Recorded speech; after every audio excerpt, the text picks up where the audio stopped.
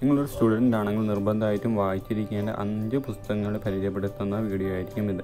അപ്പോൾ നേരെ വീഡിയോയിലേക്ക്. നിങ്ങൾ ഫ്യൂച്ചറെ കുറിച്ച് ഭയപ്പെടുകയാണെങ്കിലോ അതല്ലെങ്കിൽ നിങ്ങൾ ഒരു ഫിനാൻഷ്യൽ ഫ്രീഡം കരസ്ഥമാക്കണമെങ്കിലോ അതല്ലെങ്കിൽ ഒരു ഹാപ്പി ആയിട്ടുള്ളൊരു ലൈഫ് കരസ്ഥമാക്കണമെങ്കിലോ നിങ്ങൾക്ക് ഈ ഒരു അഞ്ച് പുസ്തകം റെഫർ ചെയ്യാവുന്നതാണ്. ഞാനിവിടെ പരിചയപ്പെടുത്താൻ പോകുന്ന അഞ്ച് പുസ്തകം നിങ്ങൾ വായിക്കുകയാണെങ്കിൽ ഞാൻ പറഞ്ഞ ഈ മൂന്ന് കാര്യങ്ങൾ നിങ്ങൾക്ക് നിങ്ങളുടെ ലൈഫിൽ അച്ചീവ് ചെയ്യാൻ പറ്റും. ഒന്നാമത്തത് നിങ്ങൾക്ക് നിങ്ങളുടെ ഫിനാൻഷ്യൽ ആയിട്ടുള്ള ഒരു ഫ്രീഡം കരസ്ഥമാക്കാൻ പറ്റും. രണ്ടാമത്തെന്ന് പറയുന്നത് ഹാബിറ്റിനെ നമുക്ക് ഒഴിവാക്കാനും പുതിയൊരു ഹാബിറ്റ് ക്രിയേറ്റ് ചെയ്യാനും പറ്റും. മൂന്നാമത് നമുക്ക് നമ്മുടെ ലൈഫിൽ തന്നെ വലിയൊരു മാറ്റം ഈ ഒരു പുസ്തകത്തിൽ നിന്ന് കൊണ്ടുവരാൻ പറ്റും. അപ്പോൾ നമുക്ക് ആദ്യത്തെ പുസ്തകം ഏതാണെന്ന് നോക്കാം.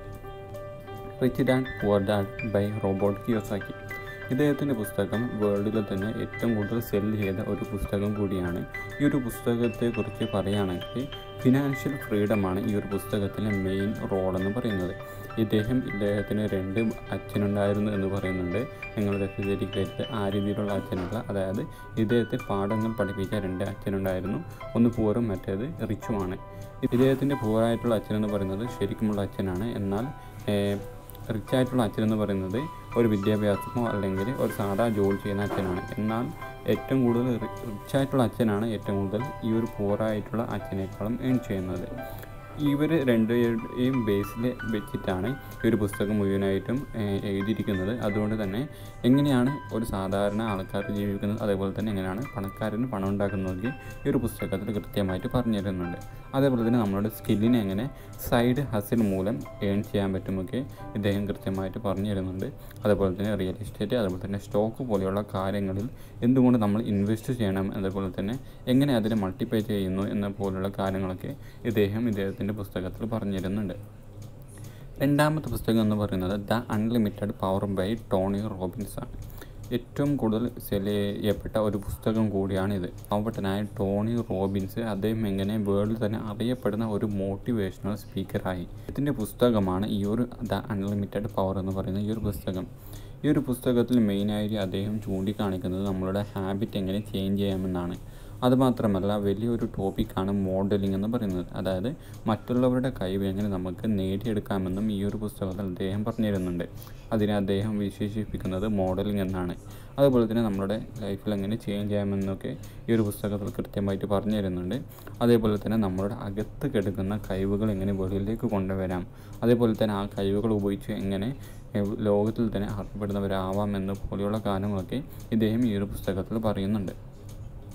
മൂന്നാമത്തെ പുസ്തകം എന്ന് പറയുന്നത് I am okay you are okay എന്ന് പറഞ്ഞിട്ടുള്ള തോമസ് ആന്റണിയുടെ പുസ്തകമാണ്. ഈ ഒരു പുസ്തകം മെയിനായിട്ട് നിങ്ങളൊരു സൈക്കോളജിയോ അല്ലെങ്കിൽ ഒരു ബോഡി ലാംഗ്വേജോ പഠിക്കുന്നവരാണെങ്കിൽ ഞാൻ റെക്കമെൻഡ് ചെയ്യുന്ന ഒരു പുസ്തകവും കൂടിയാണ്. അതായത് ഇദ്ദേഹം ഈ ഒരു പുസ്തകത്തിൽ മെയിനായിട്ട് ബോഡി ലാംഗ്വേജിനെ കുറിച്ചിട്ടാണ് പറയുന്നത്. അതേപോലെ തന്നെ എങ്ങനെയാണ് നമ്മുടെ സ്വഭാവങ്ങൾ മാറുന്നത്? എന്തുകൊണ്ടാണ് നമ്മൾ ഈ രീതിയിൽ ഇപ്പോൾ സംസാരിക്കുന്നത്? അല്ലെങ്കിൽ ഈ രീതി ഈ രീതിയിൽ ഇപ്പോൾ പെരുമാറുന്ന പോലെയുള്ള കാര്യങ്ങളാണ് അദ്ദേഹം അദ്ദേഹത്തിന്റെ പുസ്തകത്തിൽ പറയുന്നത്. അതേപോലെ തന്നെ എങ്ങനെ നമുക്ക് ആ ഒരു സ്വഭാവത്തെ മാറ്റാമെന്നും അദ്ദേഹം കൃത്യമായി തന്നെ പറഞ്ഞിരുന്നുണ്ട്. അതേപോലെ തന്നെ ഇദ്ദേഹത്തിന്റെ ഈ ഒരു പുസ്തകത്തിൽ ബോഡി ലാംഗ്വേജ് കുറിച്ചിട്ട് കുറേ കാര്യങ്ങൾ പറയുന്നത് കൊണ്ട് തന്നെ നിങ്ങളുടെ മറ്റുള്ളവരുടെ സ്വഭാവങ്ങൾ അതുപോലെ തന്നെ സ്വന്തം സ്വഭാവങ്ങളൊക്കെ മാറ്റാനും തിരുത്താനൊക്കെ ഈ ഒരു പുസ്തകം സഹായിക്കുന്ന കൂടിയുണ്ട് അടുത്തൊരു പുസ്തകം എന്ന് പറയുന്നത് വേൾഡിൽ തന്നെ ഏറ്റവും കൂടുതൽ സെല്ല് ചെയ്യപ്പെട്ട ഒരു പുസ്തകം കൂടിയാണ് നമ്മുടെ Stephen കോവയുടെ seven habit of highly effective by people എന്ന് പറഞ്ഞിട്ടുള്ള പുസ്തകം. ഈ ഒരു പുസ്തകത്തിൽ അദ്ദേഹം ഏഴ് ശീലങ്ങളെ കുറിച്ചാണ് പരിചയപ്പെടുത്തുന്നത്. ഈ ഒരു ഏഴ് ശീലങ്ങൾ നമ്മുടെ ജീവിതത്തിൽ ഏറ്റവും കൂടുതൽ പ്രാധാന്യം അർഹിക്കുന്ന ശീലങ്ങളാണെന്ന് അദ്ദേഹം അദ്ദേഹത്തിന്റെ പുസ്തകത്തിൽ ചൂണ്ടിക്കാണിക്കുന്നുണ്ട്. അതിൽ ആദ്യത്തെ മൂന്ന് ശീലങ്ങൾ പൊതുവായിട്ടുള്ള ശീലങ്ങളും ബാക്കി വരുന്ന മൂന്ന് ശീലങ്ങൾ മറ്റുള്ളവരുടെ ശീലങ്ങളിൽ വരുത്തുന്ന മാറ്റങ്ങളുമാണ് അദ്ദേഹം ചൂണ്ടിക്കാണിക്കുന്നത്. അതായത് ഇതിൽ വരുന്ന ഇതിന്റെ മെയിൻ ടോപ്പിക് എന്ന് പറയുന്നത് നമുക്ക് നമ്മളുടെ ഹാബിറ്റ് ചേഞ്ച് ചെയ്യാൻ പറ്റുമെന്ന് തന്നെയാണ്. അതായത് നമ്മൾക്ക് എഴുതിയിട്ടുള്ള തലവരെ മാറ്റാൻ പറ്റാണ് ഇദ്ദേഹം ഈ ഒരു പുസ്തകത്തിലൂടെ ചൂണ്ടിക്കാണിക്കുന്നത്. എന്താണ് നമ്മുടെ ചെറുപ്പത്തിൽ അനുഭവിച്ച സിറ്റുവേഷൻ അതിനനുസരിച്ചിട്ട് നമുക്കിപ്പോൾ മാറ്റാൻ വരുത്താൻ പറ്റും. അതാണ് ഇദ്ദേഹം ഈ ഒരു പുസ്തകത്തിൽ മെയിനായിട്ട് ചൂണ്ടിക്കാണിക്കുന്നത്. ഏതൊരു ഹാബിറ്റും നമുക്ക് ആ ഒരു ഹാബിറ്റ് ഇപ്പോൾ വേണ്ട എങ്കിൽ അത് തിരുത്താനുള്ള കഴിവ് നമുക്കിപ്പോൾ ഉണ്ടെന്ന് ഇദ്ദേഹം കൃത്യമായി തന്നെ നിങ്ങൾക്ക് കാണിച്ചു തരുന്നുണ്ട് നിങ്ങളൊരു ഹാബിറ്റിന് പ്രശ്നം നേരിടുന്നവരാണെങ്കിൽ നിർബന്ധമായിട്ടും വായിച്ചിരിക്കേണ്ട ഒരു പുസ്തകം കൂടിയാണ് seven habit of highly effective Stephen കോവിയാണ് ഈ ഒരു പുസ്തകം രചിച്ചു രചിച്ചിട്ടുള്ളത്. ഓക്കെ പിന്നെ അടുത്തൊരു പുസ്തകം എന്ന് പറയുന്നത് ദ സീക്രട്ട് എന്നാണ്. ദ സീക്രട്ട് എന്ന് പറയുമ്പോൾ തന്നെ നിങ്ങൾക്കറിയാം ഒരു വലിയ ഒരു നിഗൂഢമായിട്ടുള്ള ഒരു സംഭവത്തെയാണ് നമ്മൾ സീക്രട്ട് എന്ന് പറയുന്നത്. ഇത് എഴുതിയിരിക്കുന്നത് റോണ്ട എന്ന് പറഞ്ഞിട്ടുള്ള ഒരു വനിതയാണ്. ഇദ്ദേഹത്തിന്റെ ഏറ്റവും കൂടുതൽ സെൽ ചെയ്യപ്പെട്ട ഒരു പുസ്തകം കൂടിയാണ്. അതേപോലെ തന്നെ ഏറ്റവും കൂടുതൽ ചർച്ച ചെയ്യപ്പെട്ട ഒരു പുസ്തകം കൂടിയാണ് ഈ ഒരു ദ സീക്രട്ട് എന്ന് പറയുന്നത്. ഇതിന്റെ ബേസിൽ രണ്ടായിരത്തി ആറിലെ ഒരു സിനിമ കൂടി റിലീസ് ചെയ്തിട്ടുണ്ട്. അപ്പോൾ എന്താണ് ഈ ഒരു ദ സീക്രട്ട് എന്ന് പറഞ്ഞ പുസ്തകത്തിൽ മെയിനായിട്ട് ചർച്ച ചെയ്യുന്നത്? ദ ലോ ഓഫ് അട്രാക്ഷൻ ആണ്. പൊതുവേ നമ്മളെ പല മോട്ടിവേഷൻ ക്ലാസ്സുകളിലും അതുപോലെ തന്നെ യൂട്യൂബ് വീഡിയോസിലൊക്കെ കാണുന്ന ഒരു ടോപ്പിക്ക് കൂടിയാണ് ദ ലോ ഓഫ് അട്രാക്ഷൻ അതല്ലെങ്കിൽ ആകർഷണ നിയമം എന്ന് പറയുന്നുണ്ട്. ഇതിനെ കുറിച്ചിട്ടുള്ള എന്താണ് ആകർഷണ നിയമം? എങ്ങനെ ആ ഒരു ആകർഷണ നിയമം ഉപയോഗിച്ചുകൊണ്ട് മണി വെൽത്ത് റിലേഷൻഷിപ്പ് പോലെയുള്ള കാര്യങ്ങളൊക്കെ നമ്മൾ നേടാൻ പറ്റും? എങ്ങനെ നമുക്ക് ഈ ഒരു ആകർഷണ നിയമത്തെ ഉപയോഗിക്കാം?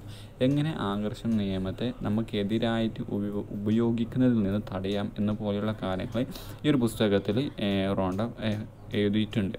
അതായത് മറ്റ് ഏറ്റവും കൂടുതൽ വിജയിച്ച ആളുകളുമായിട്ടുള്ള ഒരു കോൺവെർസേഷൻ രീതി തന്നെയാണ് ഈ ഒരു പുസ്തകത്തിൽ അദ്ദേഹം എഴുതിയിട്ടുള്ളത്.